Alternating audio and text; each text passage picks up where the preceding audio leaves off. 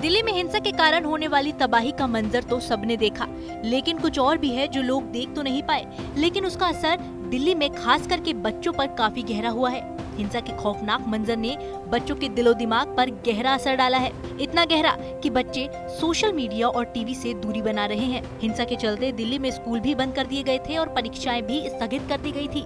जिसके बाद हालात सामान्य होने पर बच्चे जब एग्ज़ाम देने गए तो उनका कहना था कि दिल्ली हिंसा को लेकर उनके मन में डर बैठ गया है। हिंसा के कारण उनकी पढ़ाई बिल्कुल नहीं हो पा रही थी और वो इस चिंता में थे कि वो एग्ज़ाम कैसे देंगे।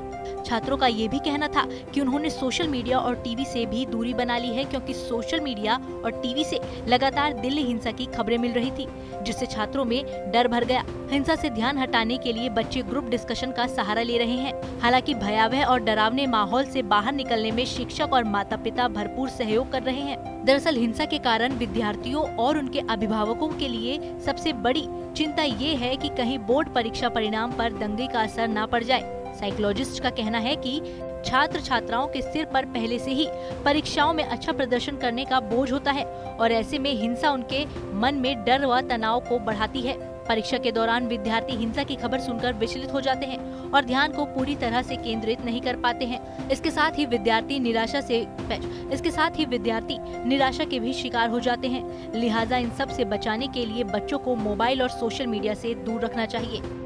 ऐसे में विशेषज्ञों की माने तो बच्चों की मानसिक स्थिरता को बढ़ाने और शैक्षणिक संसाधनों का उपयोग करने के लिए अभिभावकों व स्कूल प्रशासन के बीच सहयोग की आवश्यकता है।